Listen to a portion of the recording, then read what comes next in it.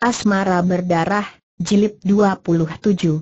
Perempuan sombong, biarkan kami yang mencoba untuk menyeret kalian turun bentak Kui Kok Lobo yang berwatak keras dan galak.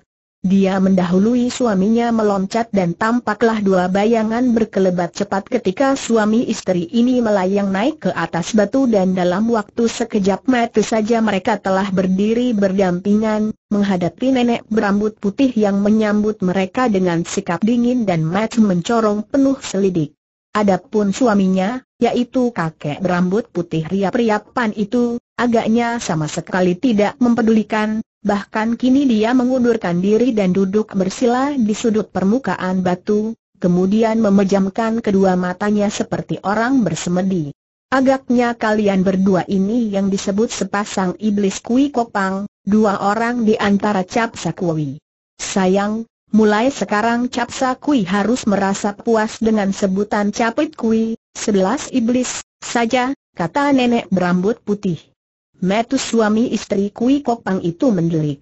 Penghinaan ini bahkan lebih hebat daripada makian monyet tadi, karena ucapan itu sangat meremahkan mereka, memastikan bahwa mereka berdua tentu akan tewas sehingga jumlah capsa Kui, 13 iblis, hanya akan tinggal 11 orang lagi saja.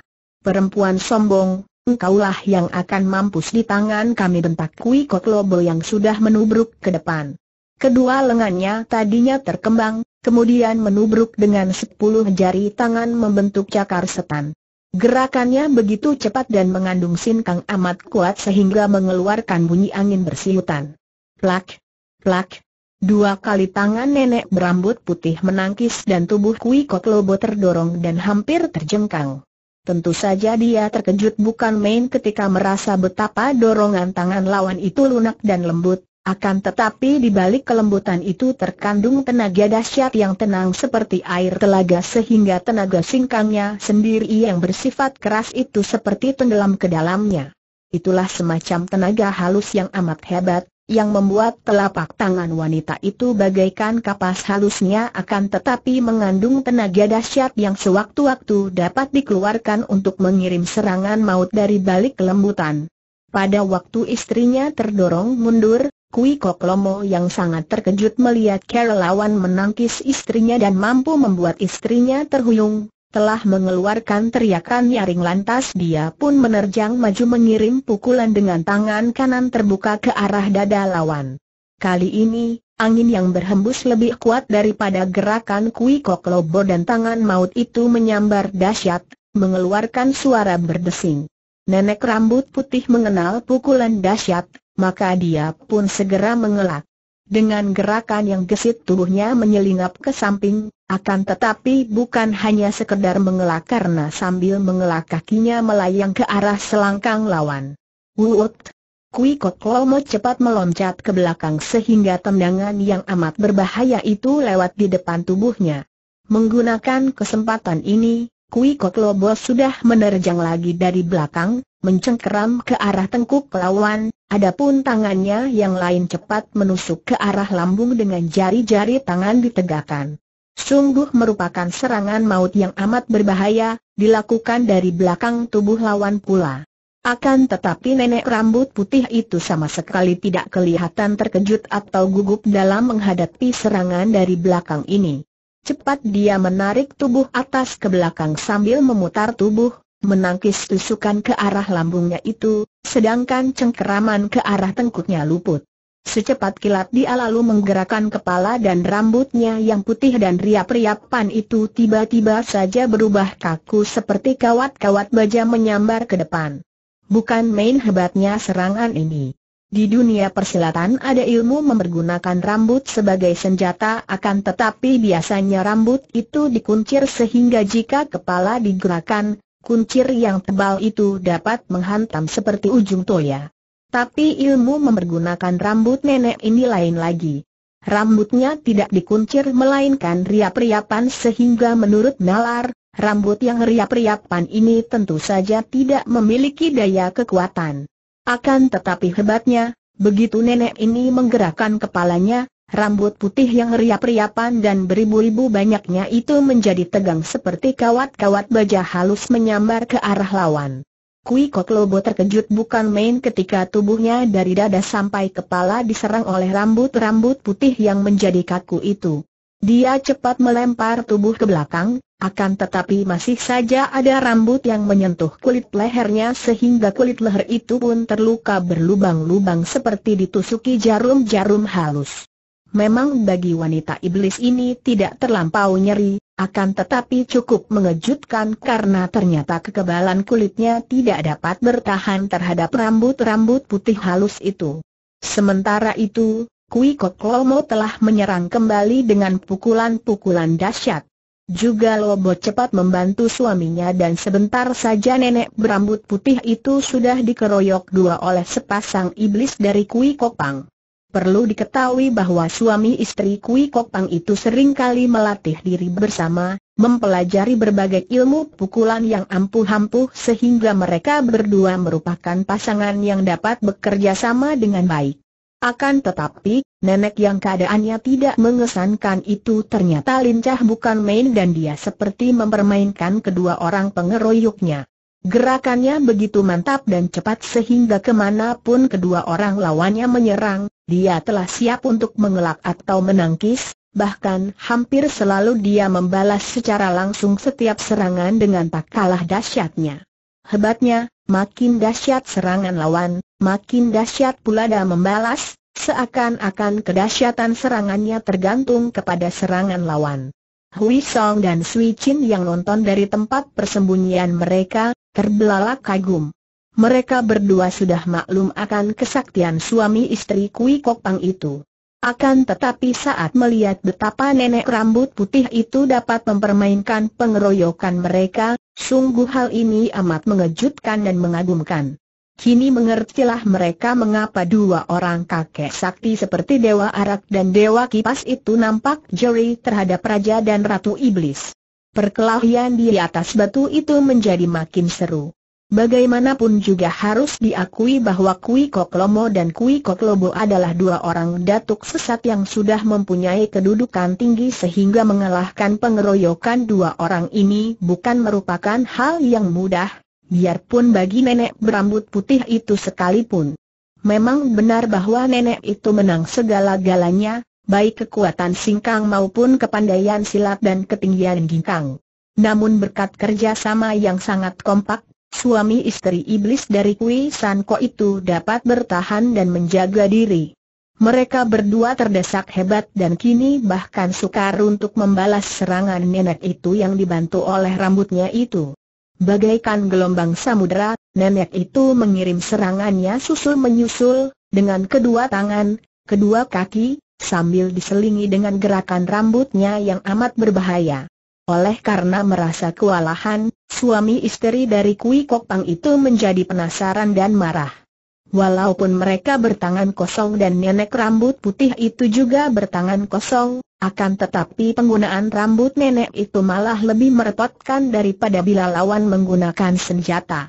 Maka mereka pun mengeluarkan bentakan nyaring, lantas nampaklah sinar berkelebat di bawah bayangan cahaya bulan yang kini bersinar terang.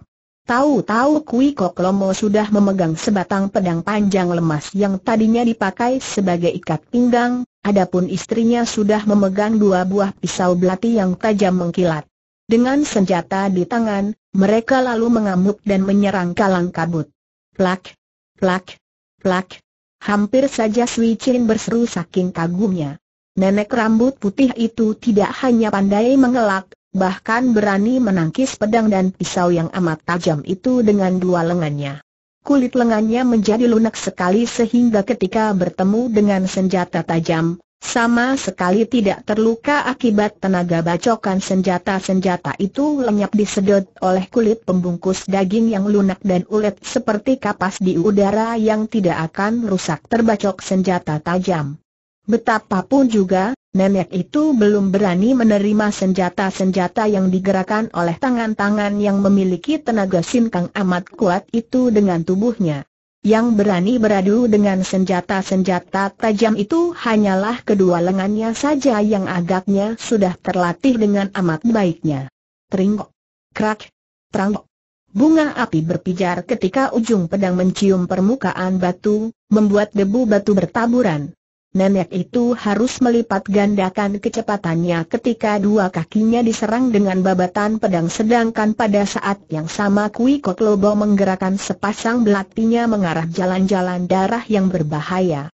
Sesudah suami istri itu mempergunakan senjata, perkelahian menjadi semakin seru dan menegangkan. Semua orang yang hadir di sana, baik yang sekelompok dan kini duduk di sebelah kanan maupun mereka yang masih berdiri di belakang iblis buta, nonton dengan perasaan tegang.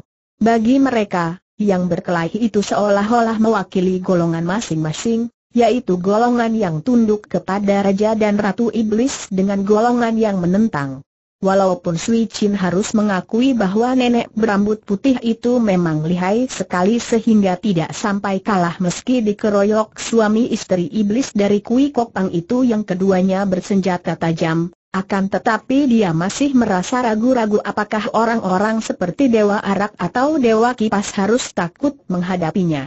Menurut penilaiannya, tingkat kepandaian dua orang kakek itu belum tentu kalah oleh nenek berambut putih itu, akan tetapi mengapa mereka berdua nampak sedemikian takutnya menghadapi Raja dan Ratu Iblis? Dia menaksir bahwa kalau hanya dapat mengimbangi kepandaian dua orang suami istri Kui Kopang itu saja, ayahnya atau ibunya belum tentu akan kalah. Akan tetapi tiba-tiba kakek Katai menyentuh lengannya dan menudingkan jari telunjuknya ke arah batu di mana perkelahian masih berlangsung dengan serunya. Dan Sui Chin yang tadinya termenung itu sekarang terbelalak. Kedua orang suami istri Kui Kopang itu kini kelihatan terhuyung-huyung. Yang membuat Sui Chin terheran-heran dan merasa ngeri adalah ketika dia melihat betapa kedua tangan suami istri itu kini berubah menjadi hijau, juga muka mereka yang tadinya pucat seperti muka mayat itu tiba-tiba berubah menjadi kehijauan. Dan dia, sebagai putri suami istri pendekar sakti, dapat menduga apa artinya itu. Suami istri Kui Kopang itu ternyata telah keracunan secara hebat sekali. Inilah sebabnya mengapa gerakan mereka menjadi kacau dan lemah. Padahal nenek berambut putih itu sama sekali tak pernah kelihatan menggunakan racun. Dari mana datangnya racun yang menguasai suami istri itu? Dan kedua suami istri iblis Kui Kok San itu pun merupakan datuk-datuk sesat yang tidak asing dengan segala macam racun, bagaimana mungkin mereka dapat keracunan semudah itu? Tiba-tiba saja nenek berambut panjang itu mengeluarkan suara bentakan melengking, lalu tubuhnya bergerak cepat dan tahu-tahu sepasang pisau dan pedang itu telah terbang dari tangan para penyerangnya. Suami istri itu nampak sangat terkejut, akan tetapi mereka menggunakan tangan kosong untuk melawan terus. Bahkan sekarang mereka mengamuk secara nekat, melihat betapa tubuh mereka telah dipengaruhi hawa racun hijau yang tidak menimbulkan rasa nyeri, akan tetapi membuat tubuh mereka makin lama semakin lemas. Hiat, tiba-tiba Kui Kok Lobo menubruk dengan kedua tangan membentuk cakar setan. Nenek ini sudah nekat karena merasa betapa sebetulnya dia dan suaminya dipermainkan, karena kalau dikehendaki, agaknya sejak tadi dia dan suaminya sudah dapat dikalahkan. Dia tadi sudah mencoba menggunakan pilanti racun untuk menyembuhkan keracunan itu dengan menelannya, akan tetapi tidak ada hasilnya sama sekali. Maka dia berlaku nekat, kalau perlu hendak mengadu nyawa dengan lawan. Karena itu serangannya itu hebat bukan main, tidak mempedulikan daya pertahanan lagi, melainkan mengerahkan seluruh tenaga dan perhatian untuk mencengkeram tubuh lawan. Tentu saja dia menyerang sambil mengerahkan tenaga sinkang yang membuat sepasang tangannya berubah hitam dan mengandung hawa beracun yang amat berbahaya. Akan tetapi karena racun hijau itu mulai menguasai dirinya, Gerakannya menjadi kurang cepat dan lawannya dengan mudah saja dapat mengelak, bahkan kini lawannya berhasil menangkap kedua pergelangan tangan Kui Kok Lobo. Sebelum Lobo dapat mencegah, tahu-tahu ada sinar putih berkelebat lantas rambut-rambut putih yang riap-riapan itu telah bergerak menyerang mukanya. Terdengar jerit mengerikan ketika rambut-rambut halus yang sudah berubah menjadi kaku meruncing itu menerkam muka dan leher Kui Kok Lobo. Ketika nenek berambut putih itu melepaskan pegangan sambil mendorong, tubuh Kui Kok Lobo terjengkang dan terlempar jauh dari atas batu, terbanting ke atas tanah dan di situ tubuhnya berkelojotan. Muka dan lehernya mandi darah, juga sepasang matanya rusak dan hancur karena tusukan-tusukan rambut-rambut itu. Melihat istrinya roboh, Kui Kok Lobo menjadi marah dan mata gelap. Dia lupa bahwa sudah jelas dia bukan lawan nenek rambut putih, akan tetapi dia sudah nekat dan sambil berseru keras dia pun memukul dengan tangan kanannya ke arah kepala nenek berambut putih, sedangkan tangan kirinya mencengkeram ke arah perut. Serangan kedua tangan ini hebat bukan main. Meskipun kakek ini juga sudah keracunan dan tenaganya banyak berkurang, namun pengerahan Sinkang dalam keadaan marah ini melipat gandakan kekuatannya sehingga dua serangan itu sangat dahsyat dan berbahaya sekali. Nenek rambut putih itu cepat menyambut cengkeraman itu dengan pukulan kedua tangan miring ke bawah, sedangkan tangan yang menghantam ke arah kepalanya itu dia sambut dengan rambutnya. Akan tetapi kali ini rambut di kepalanya tidak bergerak sendiri-sendiri, melainkan menjadi bergumpal sebesar lengan dan dengan kekuatan dahsyat menyambut pukulan tangan kanan Kui Kok Lomo dengan tangkisan dari atas ke bawah pula, seperti sebuah lengan atau sebatang toya baja menangkis. Krak, krak. Kui Kok Lomo meloncat ke belakang dan mukanya yang pucat agak kehijauan menjadi semakin pucat. Kedua lengannya tergantung lemas dan tidak berdaya lagi karena tulang-tulang kedua lengannya patah-patah oleh tangkisan gumpalan rambut serta kedua tangan nenek itu.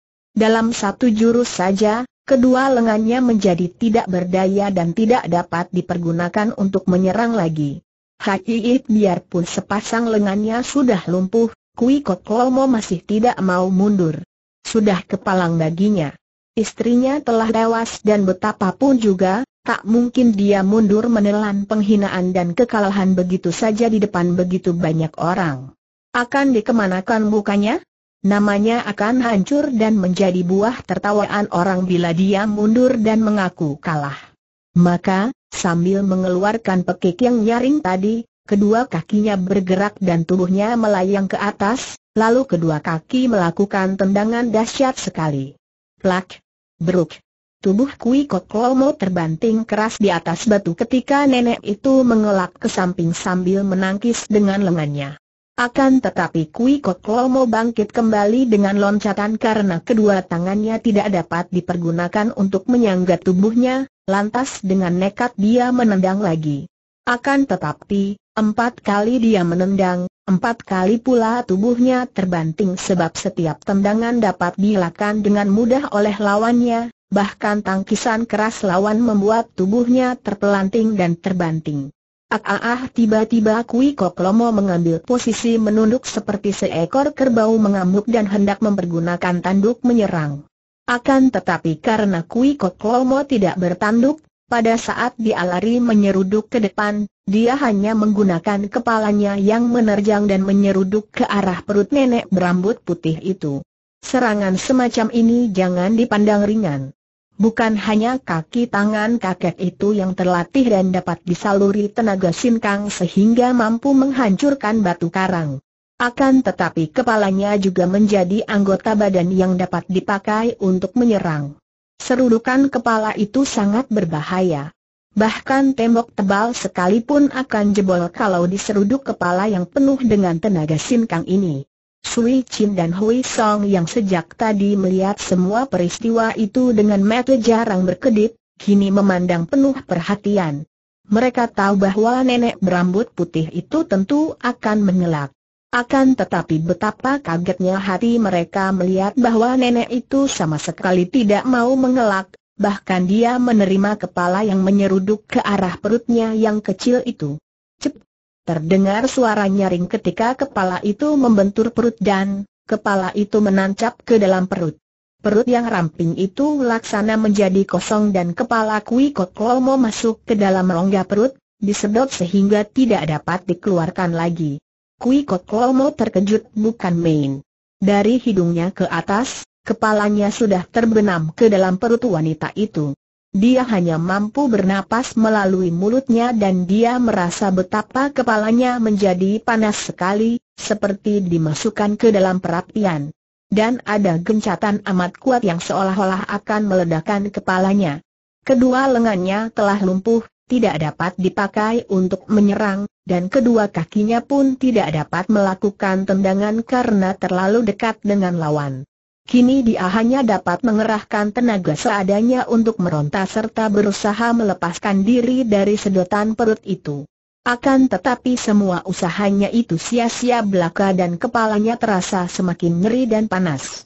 Demikian hebat rasa nyeri yang dideritanya hingga kedua kakinya meronta-ronta, Kemudian terdengar mulutnya mengeluarkan pekik mengerikan ketika tubuhnya terlempar dari atas batu karena wanita berambut putih itu secara tiba-tiba menggerakkan perutnya dan tenaga dari perut itu menendang kepala Kui Kok Lomo sehingga tubuhnya terpental ke bawah batu, tepat di sisi tubuh istrinya yang masih berkelojotan. Dari telinga, hidung dan mulutnya bercucuran darah dan mulutnya mengeluarkan suara ngorok seperti seekor babi disembelih.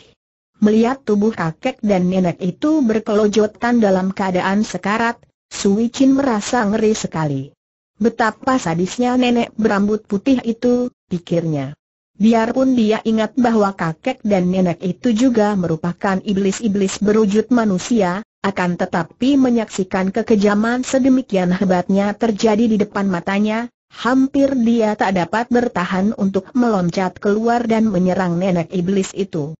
Akan tetapi Dewa Arak yang berada di dekatnya agaknya tahu akan isi hati gadis ini, maka beberapa kali kakek itu menepuk pundak atau lengan Sui Chin untuk menyabarkannya. Sementara itu Siang Kean Lojin kini menggerakkan kedua kakinya lalu tubuhnya mencelat ke atas batu besar, berhadapan dengan nenek berambut putih yang kini sudah bertolak pinggang menanti lawan itu. Biarpun buta, akan tetapi kakek berambut putih itu tadi dapat mengikuti jalannya perkelahian dengan baik, hanya menggunakan pendengarannya saja. Bahkan lebih daripada mereka yang mempunyai mata sehat, dia mampu mengenal dan meneliti gerakan-gerakan nenek berambut putih itu, dapat mengetahui di mana saja letak kekuatannya dan di mana pula letak kelemahannya. Kini, dengan tenang dia berhadapan dengan nenek itu, memegang tongkatnya dengan tangan kiri. Hem, sobat. Agaknya kini tinggal aku seorang saja yang berani menentang kalian. Mari majulah dan kita akan selesaikan urusan ini dengan taruhan darah dan nyawa. Melihat sikap kakek buta ini, nenek berambut putih nampak ragu-ragu. Biarpun buta tapi kakek ini tidak boleh dibuat main-main, tidak boleh dipandang ringan karena dia pun telah mendengar bahwa Siang Kean Lojin atau Iblis Buta ini telah berhasil menundukkan banyak tokoh sesat yang liai, malah beberapa orang anggota Cap Sakui, termasuk pula suami istri yang sudah dirobohkannya itu telah tunduk kepada Iblis Buta ini. Orang yang sudah dapat menundukkan mereka, apalagi dalam keadaan buta, tentu mengandalkan ilmu silat yang luar biasa sehingga dia harus berhati-hati. Agaknya Seng suami maklum akan keraguan istrinya, karena suaminya itu tiba-tiba saja bangkit berdiri lantas melangkah maju. Tanpa bicara apa pun, si istri agaknya maklum bahwa jika suaminya sudah maju sendiri, tak ada alasan baginya untuk mencampurinya. Maka dia pun mundur dan duduk bersila di sudut batu seperti yang dilakukan suaminya tadi. Kini kakek yang mukanya kehijauan itu berdiri berhadapan dengan iblis buta. Siang Koan Lojin juga dapat mengikuti semua gerakan tadi, dan dia tahu bahwa nenek itu telah mundur, digantikan oleh seorang yang langkah kakinya perlahan namun getarannya terasa mempengaruhi batu besar itu hingga kakinya sendiri pun dapat merasakan getaran itu. Diam-diam Siang Kean Lojin mengerutkan kedua alisnya dan maklum bahwa dia sedang berhadapan dengan seorang lawan yang amat tangguh. Akan tetapi dia adalah pemimpin para datuk sesat, Selama ini dia dianggap raja, maka tentu saja ia akan mempertahankan kedudukannya itu yang hendak dirampas oleh suami istri yang menyebut diri Raja Iblis dan Ratu Iblis itu. Apakah kini aku berhadapan dengan pangeran yang dijuluki Raja Iblis? Langkoan Lojin bertanya, tongkatnya mengetuk-ngetuk permukaan batu besar untuk mengenal keadaan. Kami adalah Pangeran Toan Jitong, untuk pertama kalinya terdengar kakek berambut putih riap-riapan itu bicara, suaranya halus dan tenang berwibawa, bagai suara dan sikap seorang bangsawan tinggi. Kamu tentu orang Sisiang Koan itu. Menyerahlah dan kami akan mengampunimu, lalu mengangkatmu menjadi pembantu kami.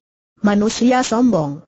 Aku baru mau menyerah kalau kalah olehmu dan aku lebih baik mati jika sampai kalah oleh orang lain selesai berkata demikian, si buta telah menggerakkan tongkatnya. Wir, Siwut, Nampak cahaya hitam bergulung-gulung lalu mencuat ke arah kakek berambut putih yang mengaku bernama Pangeran Toan Jit Ong itu. Serangan ini dahsyat sekali karena tongkat kayu cendana itu digerakkan dengan tenaga sinkang yang amat kuat. Pangeran yang dijuluki Raja Iblis itu agaknya mengenal serangan ampuh, maka cepat dia menggerakkan tubuhnya.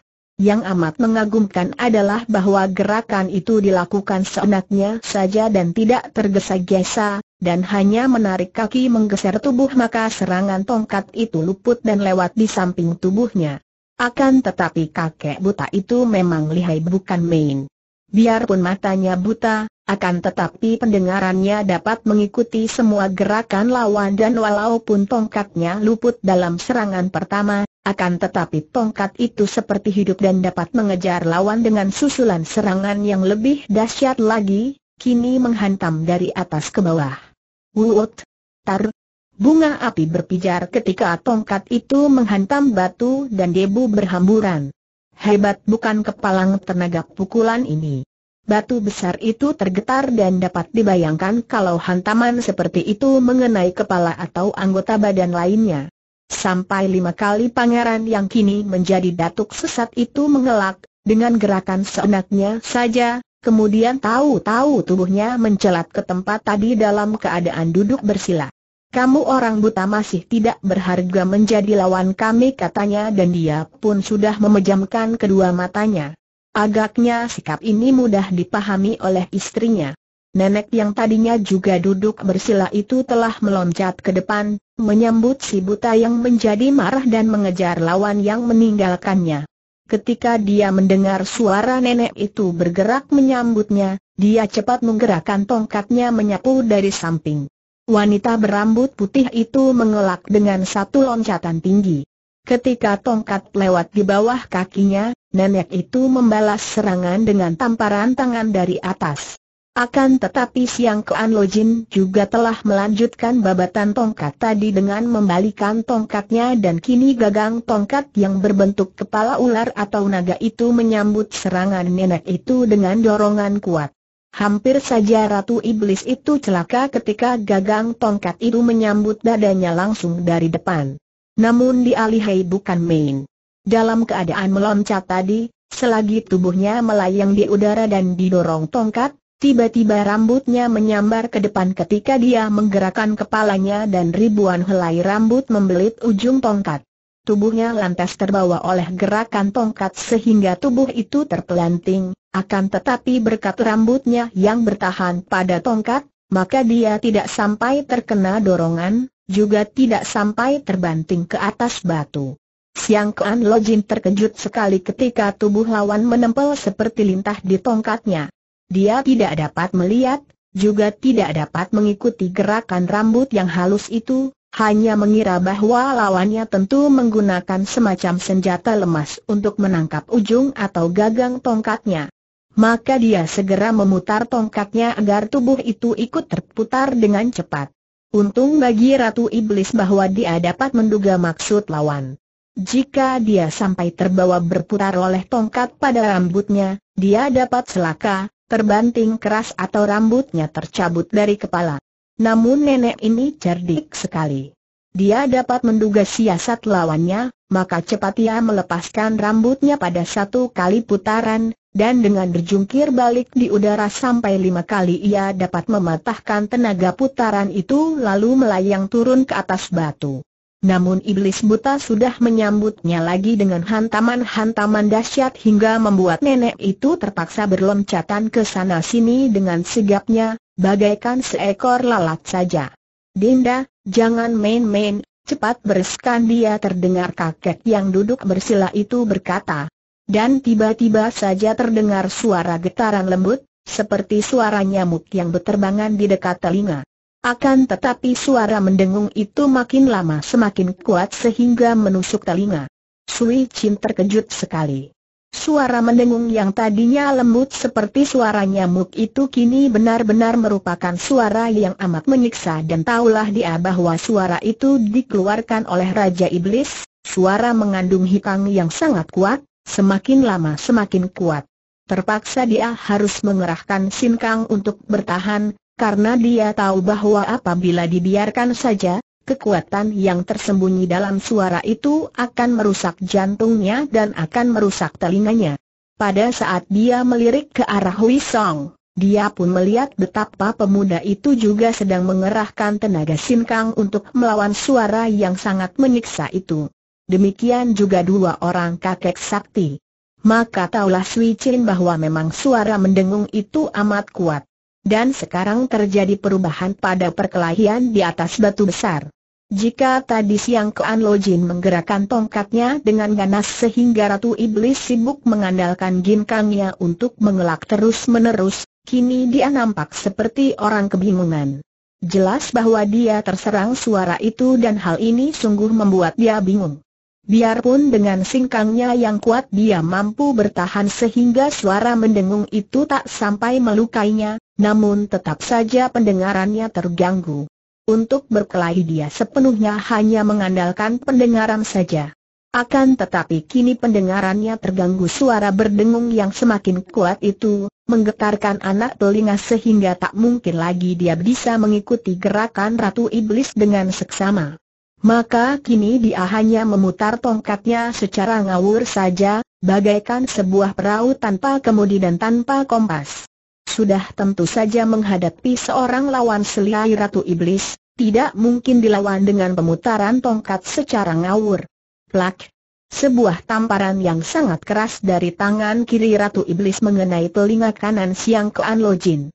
Tamparan itu masuk menyelinap melewati putaran tongkat dan sama sekali tidak mampu dihilangkan atau ditangkis oleh Siang Kean Lojin yang kini benar-benar menjadi seperti buta tuli itu.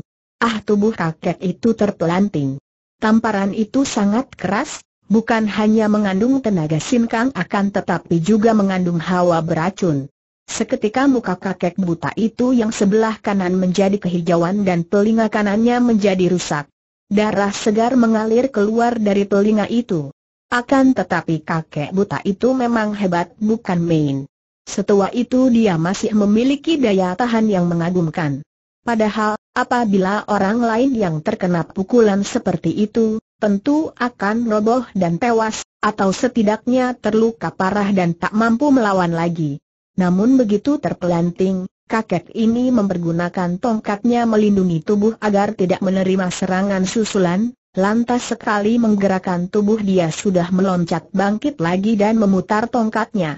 Kini bagaikan orang gila dia mengamuk, memutar tongkatnya sambil kakinya meraba-raba dan melangkah ke kanan kiri dengan tegapnya.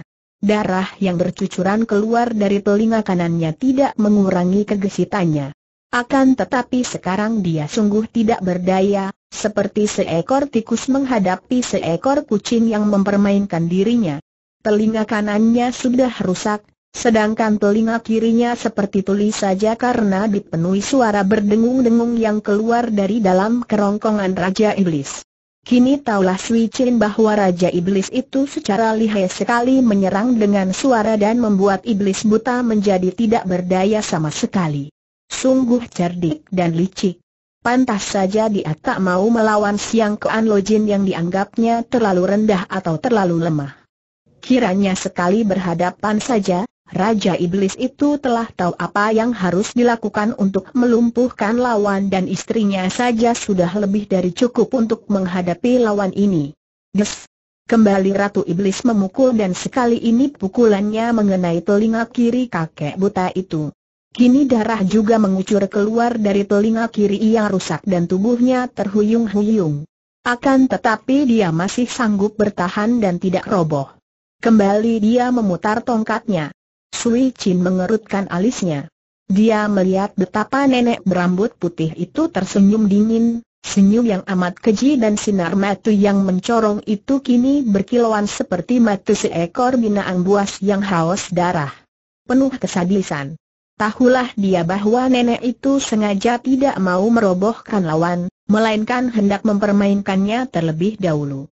Tiba-tiba suara mendengung itu lenyap dan hal ini benar-benar mendatangkan perasaan yang amat tidak enak dalam hati. Kalau tadi ada suara mendengung-dengung sehingga dia terpaksa harus mengerahkan tenaga sinkang untuk melawan, kini suara itu mendadak lenyap akan tetapi telinganya masih saja mendengar suara dengungan itu, seakan-akan selamanya tidak akan mau meninggalkan telinga dan perasaan tidak enak ini dapat nampak pada wajah semua orang yang berada di situ, yang tadi pun semua mengerahkan sinkang melawan suara yang menyiksa itu. Sungguh hebat sekali serangan suara Raja Iblis. Agaknya memang benar dugaan Sui Chin. Kini Ratu Iblis itu mempermainkan Siang Kean Lojin yang sudah tidak dapat menggunakan pendengarannya lagi. Wanita itu berloncatan ke sana-sini dan begitu tiba di belakang kakek yang mengamuk ke depan, dia mengirim tamparan. Tidak cukup keras untuk dapat mematikan lawan, akan tetapi juga tidak terlalu perlahan karena setiap kali terkena tamparan, tubuh kakek itu segera terputar-putar dan terhuyung-huyung. Muka kakek itu telah berlumuran darah. Darah bercucuran dari mulut, hidung dan telinga, bahkan kedua matanya menjadi sasaran-sasaran pukulan ringan yang cukup membuat biji metu yang tak dapat melihat itu pecah-pecah dan berdarah. Namun kakek itu dengan semangat pantang mundur melawan terus dengan napas terengah-engah. Yang mengerikan, di antara para tokoh yang berada di kelompok yang menakluk kepada Raja dan Ratu Iblis, terdengar sorak-sorai dan tepuk tangan. Mereka itu nampak beringas, bagai harimau-harimau mencium darah, dan semakin tersiksa si iblis buta maka semakin gembira pula suara mereka bersorak-sorak. Dinda, hentikan main-main itu. Bereskan dia kembali terdengar Raja Iblis berkata. Duh! Aungah! Tubuh Siang Kean Lojin terjengkang dan terbanting jatuh ke bawah batu. Di atas tanah, Tubuh itu berkelojotan akan tetapi tongkat hitam kayu cendana masih saja dipegangnya erat-erat. Kakek itu tewas dengan dada pecah dan dengan senjata masih di tangan. Sui Chin menahan napas menahan isak. Dia tahu bahwa kakek buta itu juga seorang datuk sesat yang kejam seperti iblis. Akan tetapi melihat kakek ini tersiksa seperti itu, hatinya menjadi panas dan dia membenci raja dan ratu iblis itu. Akan tetapi dia masih ingat bahwa dia tidak boleh sembarangan menuruti perasaan hati terhadap dua orang yang benar-benar memiliki kepandaian amat hebat itu. Maka dia pun segera menahan diri, sejenak menundukkan muka dan mengumpulkan hawa murni untuk menenangkan batinnya yang terguncang. Ketika dia mengangkat muka lagi, dia melihat betapa para iblis Cap Sakui dan semua datuk yang tadinya berdiri dengan sikap menentang di belakang si iblis buta, kini telah menjatuhkan diri berlutut. Agaknya sekarang mereka maklum bahwa setelah suami istri Kui Kopang dan Siang Kean Lojin sendiri tewas di tangan pangeran dan istrinya yang mengangkat diri menjadi raja dan ratu iblis, tidak ada harapan lagi bagi mereka untuk dapat menang. Menentang suami istri yang amat lihai itu berarti mencari kematian yang mengerikan. Ratu Iblis tersenyum dingin melihat sebelas orang capsakui dan dua orang tokoh sesat lainnya berlutut tanda menakluk. Kalian tadi berani menentang kami, untuk hal itu saja sudah cukup bagi kami untuk membunuh kalian. Akan tetapi karena kalian sudah insyaf dan menyerah, kalian harus bersumpah untuk selamanya tak akan menentang kami lagi. Bersediakah kalian disumpah? Kapsa Kui kini tinggal sebelas orang lagi karena suami istri Kui Kopang telah tewas. Mereka adalah datuk-datuk sesat yang sangat lihai dan ditakuti, akan tetapi mereka juga maklum bahwa kini berhadapan dengan dua orang yang memiliki kepandaian amat tinggi. Dan mereka tahu pula bahwa nenek berambut putih itu tidak mengancam kosong belaka. Kalau mereka menolak untuk takluk dan bersumpah, tentu nenek itu tidak akan ragu-ragu turun tangan membunuh mereka semua. Kami bersedia serentak mereka menjawab. Nenek itu kemudian menghadap ke arah suaminya yang masih duduk bersila dan sambil menjura dia pun berkata, Pangeran, silakan. Saya akan menyumpah mereka. Pangeran Toan Jitong membuka matanya dan bangkit berdiri. Tubuhnya yang jangkung nampak semakin tinggi dan Sui Chin memandang penuh perhatian kepada kakek berambut putih ini. Tadi dia mendengar bahwa kakek ini bernama Pangeran Toan Jitong. Hal ini mengingatkan dia dengan sesuatu yang membuat darah ini diam-diam merasa jantungnya berdebar dan dia bergidik. Ibunya, yang selama ini dianggapnya sebagai seorang wanita gagah perkasa, seorang pendekar wanita yang hebat, kabarnya pernah menjadi seorang datuk sesat di selatan. Dan ibunya itu pun Situan. Kakeknya, yaitu ayah dari ibunya yang sudah meninggal, bernama Pangeran Toan Suwong. Jangan-jangan masih ada hubungan keluarga di antara kakeknya, Toan Suwong itu dengan Raja Iblis yang mengaku bernama Pangeran Toan Jit Ong ini. Apabila benar demikian, berarti Raja Iblis masih kakeknya juga. Kakek paman. Sungguh mengerikan, pikirnya.